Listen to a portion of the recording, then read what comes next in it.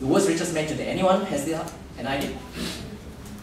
It's a man called Warren Buffett. Now, Warren Buffett, world's number one richest man.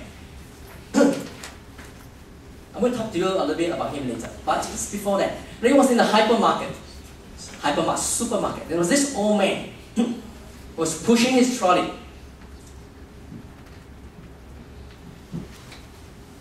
And when suddenly he bumped into a young man. He apologized profusely and he said sorry to the young man and he said, Oh, I'm, I'm really sorry because I, I wasn't looking out for you, I was looking for my wife. And the young man said, Oh, what a coincidence, I'm also looking for my wife. And the old man said, Well, since we are both looking for our wives, why don't we combine forces together? Maybe we'll find it faster. It's more efficient this way. Young man said, That's a fantastic idea. Good, let me describe to you how my wife looked like. And he said, My wife has, it's, a, it's got long blonde hair, all the way down to the waist.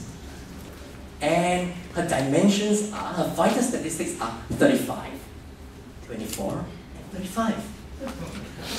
And she's dressed in a tight red tank top and a white pair of shorts, platform shoes.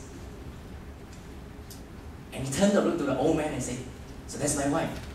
What's yours? At this stage, the old man was going, his eyes was popping up already, his jaw dropping, going, and So tell me about your wife. The old man said to the young man, Forget about her, let's look for yours. Now, what's the moral of the story? Moral of the story is that when you want to set a goal, your goal needs to be powerful. It needs to be exciting to you. It needs to be inspirational to you.